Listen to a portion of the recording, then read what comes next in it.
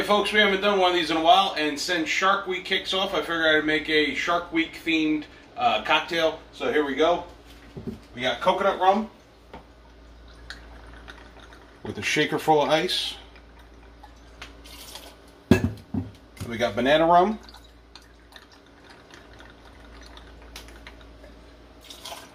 A little bit of coconut cream.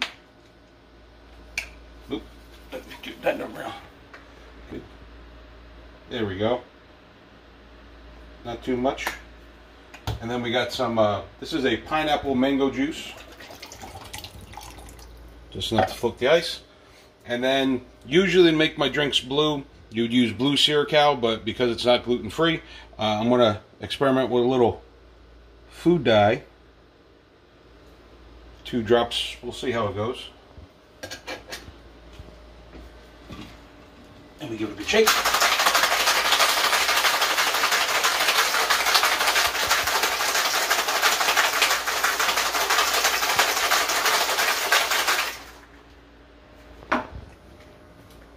Rocks glass, fresh ice. Oh, that's a pretty color.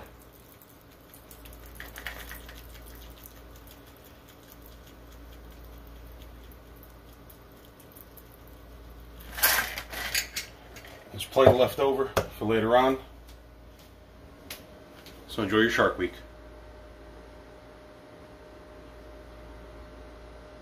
Oh, that's good. Enjoy.